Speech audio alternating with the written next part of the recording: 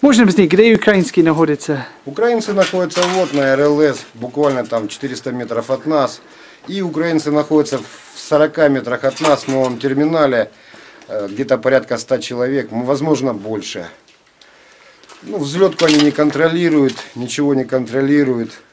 Э, Пытаются там вести какие-то беспорядочный огонь по нам. Э, Ну, можно сказать, что терминал находится полностью под нашим контролем, а нахождение в новом терминале это вынужденная мера. Мы придерживаемся э, договоров, Минских соглашений, и поэтому как бы ну, находимся. Они здесь еще пока находятся, лишь поэтому. Вот и все. Спасибо. Не, так ходить можно. Хорошо.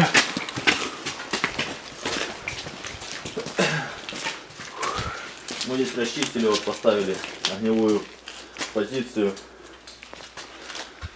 Потому что 5 числа этого месяца я был на втором этаже, вот там за утесом, и ранило. Прям танк лупил. Ты сам ранен из танк лупил? Да, танк ударил и прилетело прямо на позицию. И меня ранило. Да, я вижу лицо у тебя. Лицо, рука, нога, осколки. В руке и в ноге по одному осколку осталось. Позывной. Гризли. Друзья, можно объяснить вашу историю? Вы ранил был, да?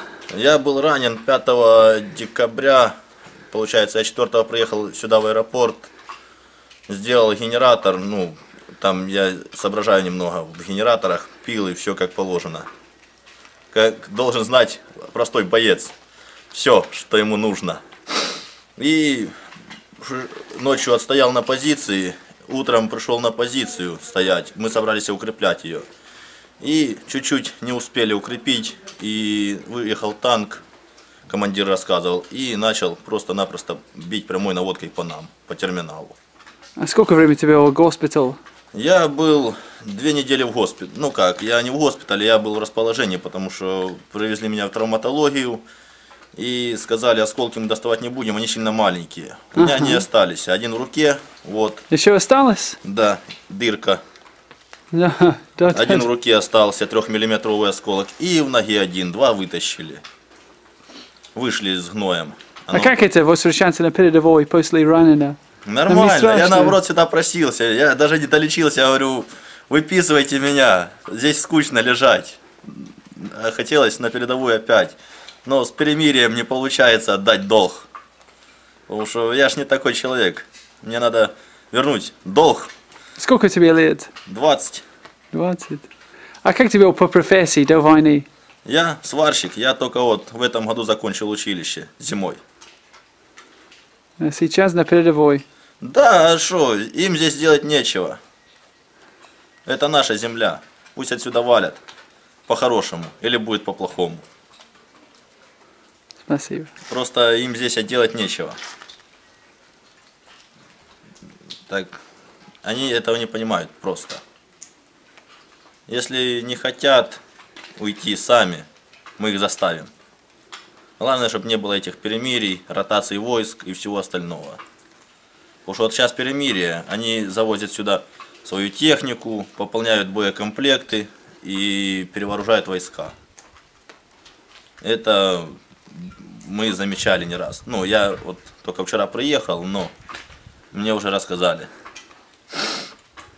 И как бы это не сильно радует. То, что они могут опять здесь разнести все. Просто все. У нас только автоматы, ну, так, мелкокалиберное орудие. И вот стоит А ты там ждешь наступления от украинской стороны? Да мне без разницы. Пусть наступают. Пощады не будет. Пленных не берем. Потому что они не нужны пленные. Как они, как я только пришел в ополчение, ехали на выезд. Попали, получается, 1 октября, да, 1 октября у нас перенесли первый звонок с сентября на октябрь. И ехали в автобусе женщины, дети. Они ни в чем не винные. И попала возле автобуса мина. И они просто сгорели. За это какое им прощение может быть? Какой плен? При, попыт- при попытке к бегству и все, расстрел на месте. Плена здесь, ну, никак не совместим. Потому что, ладно, мы взяли оружие, да, потому что мы защищаем свою землю. А при чем здесь женщины, дети, дедушки, бабушки? При чем? Они этого не понимают. Они просто бьют по мирным кварталам, по мирным жителям, там, где войск вообще никаких нету. И погибают мирные жители.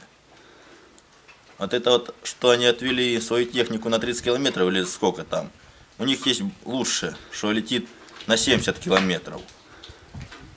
И вот результат. Они просто бьют, и оно летит в город. Но зачем это? Ну, Я не понимаю. Они завязали эту войну, но развязывать придется, наверное, нам. Спасибо.